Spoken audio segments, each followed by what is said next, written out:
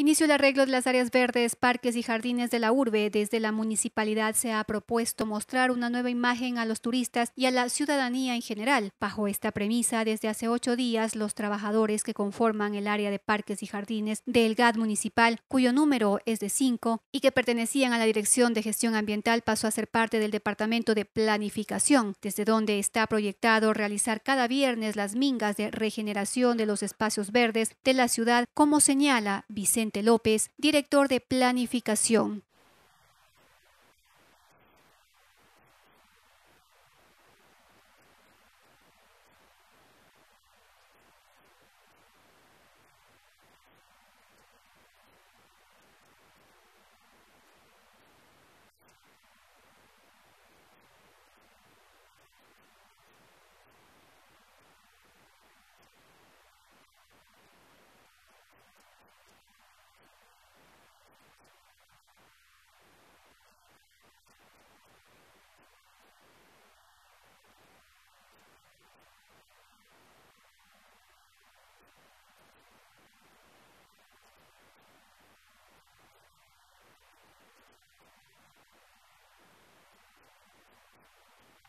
Y para ello se espera la colaboración de cada una de las dependencias del municipio. Con imágenes de Alexander Ramos reportó Patti Coloma.